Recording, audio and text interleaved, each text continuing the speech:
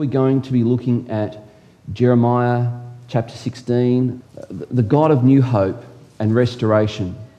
Now, you know that Jeremiah has been speaking on behalf of God about the judgment that was certain to come.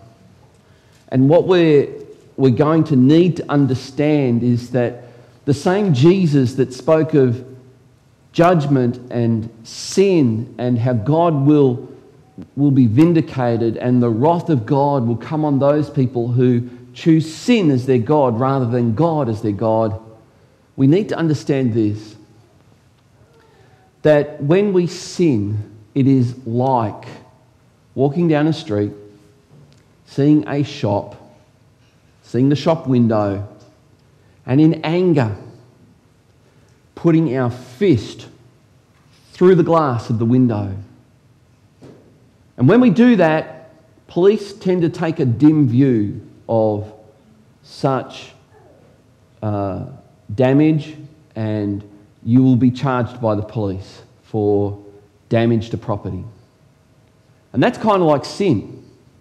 When you sin, you break a law and there will be a penalty to pay for breaking that law. But you know what else also happens when you put your fist through a window of glass? Your own arm will get cut to shreds. You will get injured yourself, and that's what sin does. So, sin is not just about breaking God's law, sin is God showing us the very things that will harm us. We've said it before the Word of God is not a list of do's and don'ts. The Word of God is like a map of the landmines of life. And you can go through life blindfolded. You can go through life walking and, and randomly hitting landmines and always thinking, why is life so unfair to me? It's because you haven't got a map. You're walking on landmines. And today we want to put a map in your hands and help you to see where those landmines are.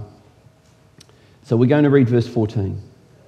And it's in the context that Jeremiah has been speaking judgment, and then God, the God of hope, doesn't just speak of judgment, speaks of hope, speaks of restoration. And let's see if you can hear it. Therefore, behold, the days are coming, declares the Lord, when it shall no longer be said, As the Lord lives, who brought up the people of Israel out of the land of Egypt.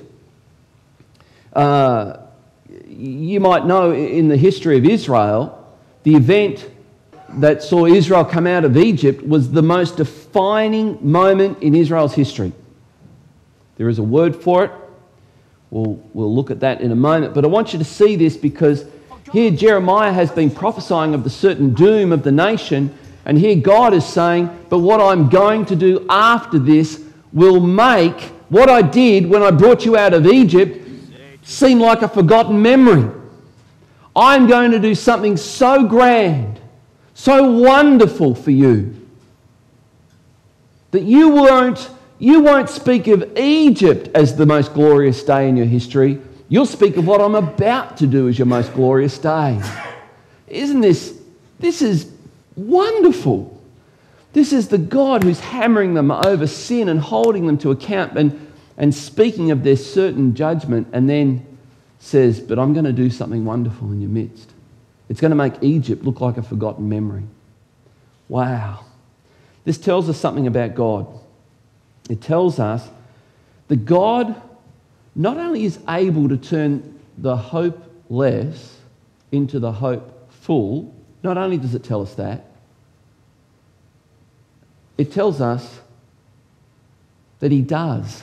Not only can He, He does. But this is not the only picture that's in mind here. And how do we know that? Because in a few chapters, we're going to read what is really in the heart of God. And what is really in the heart of God is that one day He would turn hopeless enslavement, not just of a nation, but of everybody. The hopeless enslavement of mankind, all of us. Where we're enslaved to sin, He would turn it into salvation. And as we've heard already today, God offers salvation, He offers forgiveness, He offers a new start. And so God continues the conversation and He says this Therefore, Behold, I will make them know. I will make them know, God says. This once I will make them know my power and my might, that they shall know that my name is the Lord. And that word, capital L, small caps O R D, is the one that cannot be compared to, the one who is and there is no other, the one in whom all power, all love, all grace, all hope resides.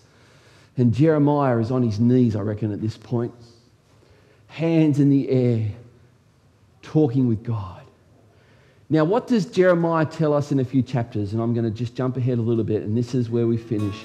Because we read in Jeremiah 31 that all of this actually culminates in what's called the new covenant. And we're in it today, church. This is the new covenant. The new covenant is about giving hope to the hopeless. And it's not just available to one nation, it's available to all.